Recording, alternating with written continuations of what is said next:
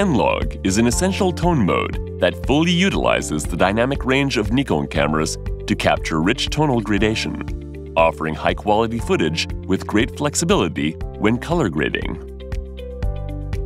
In this video, we'll introduce the fundamental exposure control methods and camera settings for shooting in N-Log through actual shooting scenarios.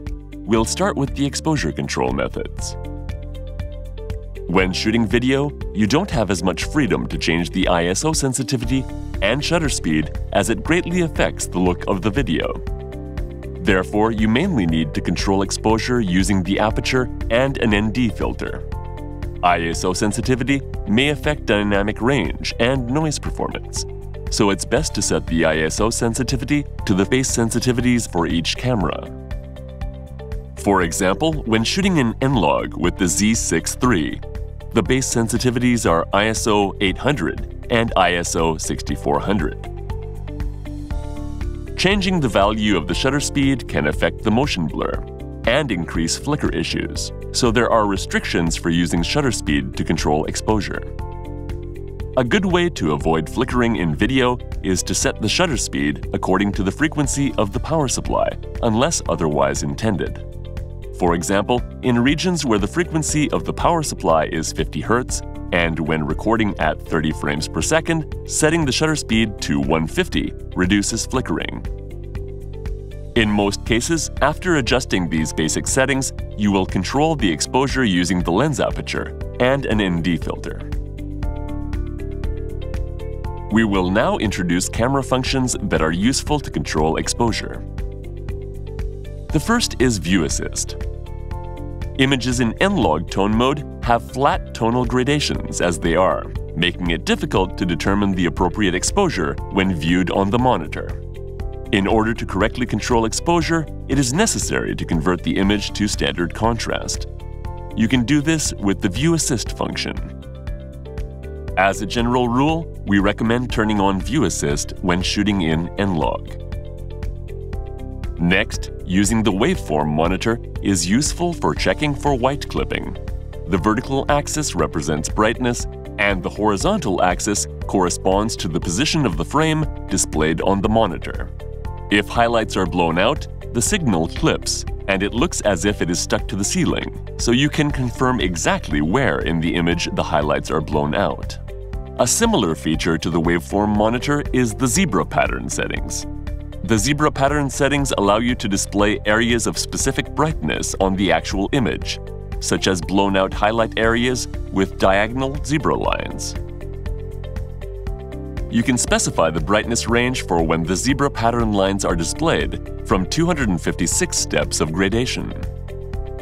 For example, if you want to control blown out highlights, you can set the tone range to highlights and set the threshold to 250 to display highlights that are likely to be blown out, and use them as a reference for exposure control.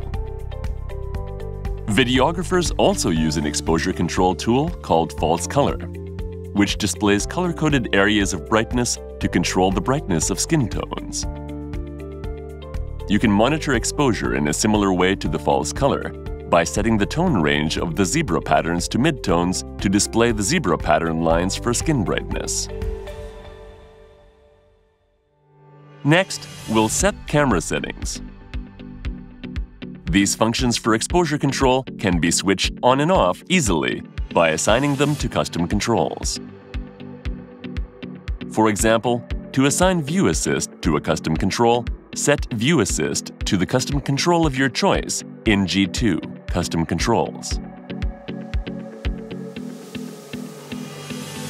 For zebra pattern settings, open Custom Settings, G14 Zebra Pattern. For example, set the threshold for the highlight threshold to 250. Then set the value of midtone range to 110 and the range to plus minus 20.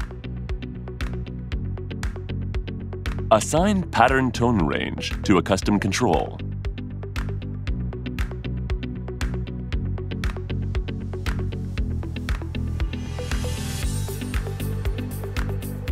For waveform monitor, select G17, Brightness Information Display, and Waveform Monitor in Custom Settings.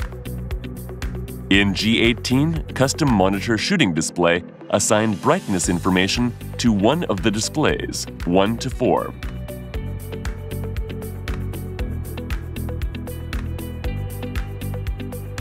Press the DISP button to switch the monitor display to show the waveform monitor. As you see, by using the custom controls, you can quickly turn each tool on and off. Finally, as a use case, we will introduce specific ways to use the exposure control tools in actual shooting situations. In this case, we will shoot fashion portraits. First, let's go through a basic method. For portraits, it is common to decide exposure based on the brightness of the skin. Turn on View Assist and get your desired exposure using the look of the image displayed on the monitor. Since there are restrictions on changing the ISO sensitivity and shutter speed when shooting video, you'll need to fine-tune the exposure with an ND filter, lighting, or the aperture. After determining the right exposure with the look of the image, if you have any concerns, such as blown out highlights, issues in the shadows, or problems with skin tone, use the exposure control tools to address these issues as necessary. Also, when shooting outdoors, there are some situations where reflections of the sun make it difficult to see the monitor. In such situations, you can use the zebra pattern settings to help. For example, when shooting portraits, adjust the exposure using the midtone zebra pattern as a guide. This makes it easier to maintain skin tones to an appropriate exposure even when it is difficult to see on the monitor. For a shot with a lot of highlights over the image, the waveform monitor helps you check the overall highlight tone. With just the zebra pattern display, it's difficult to judge how intense the blown-out highlights are. However, by using the waveform monitor, you can get a more detailed understanding of the overall image. Check the waveform monitor and adjust the signal in the area where you want to retain detail so that it is not extremely clipped. For a shot with a lot of shadows over the image, be careful to avoid blocked shadows. Detail in the shadows is difficult to check with the waveform monitor in some cases, so turn off the View Assist and look at the actual N-Log image to see how much detail remains. When you want to raise the ISO sensitivity in dark scenes like this, set the camera to ISO 6400 the base sensitivity in the high sensitivity range, which will help reduce noise in the shadow range. So, for example, compared to ISO 5000, ISO 6400 will have less noise.